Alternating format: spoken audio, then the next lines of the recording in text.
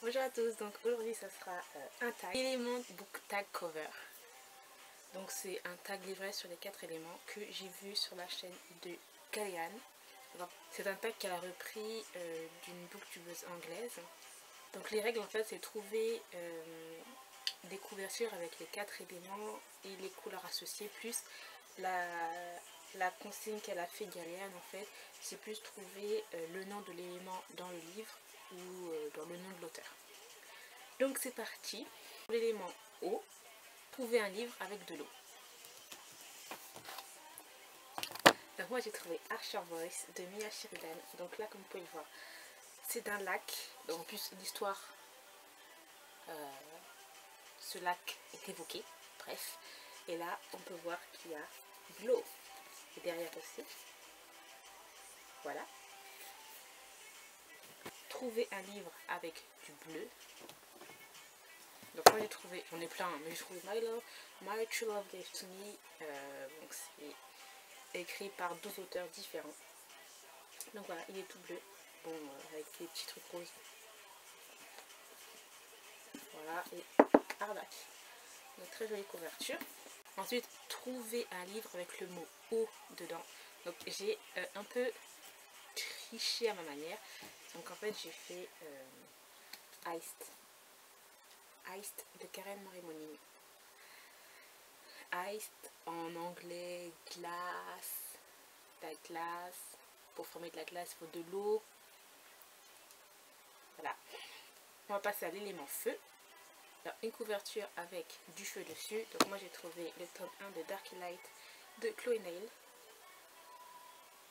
Là, du feu dessus une couverture rouge. Il n'y a pas plus rouge, je de vous dire.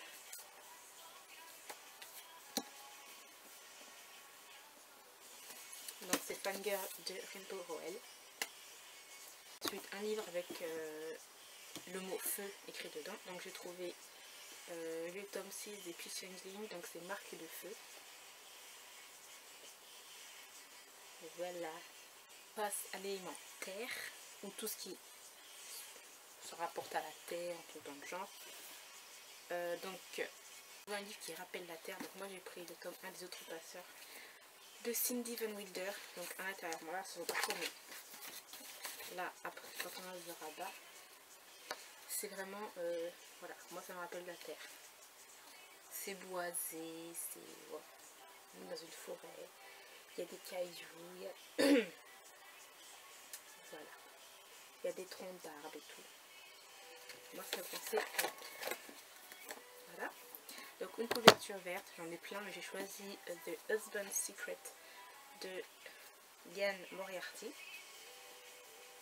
Donc, c'est très vert. Donc, je ne sais pas en fait si vous allez comment ça va ressortir. Mais c'est vert. Voilà. Va trouver euh, un titre avec le terre dedans. Donc ensuite on passe à l'élément air. Une couverture avec de l'air dessus ou qui vous fait penser au vent.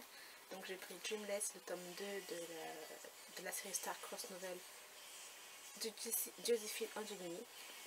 Ben, parce que voilà, il y a une sorte de robe romaine que le personnage porte. Et je pense qu'il ne vole pas comme ça tout seul. Donc voilà, me, ça me fait penser au vent un livre avec du blanc dessus, donc j'ai pris The Program de César Young. Tout blanc. À part les deux personnages qui sont jaunes là, mais ce qu'on voit plus c'est ce qui est blanc quoi. Voilà, trouver un livre avec le mot vent dessus. Question bonus, donc c'est pas obligatoire de le faire. Trouver un livre avec du bleu, du blanc, du rouge et du vert. Donc moi j'ai trouvé Insanity de Carmen Jace.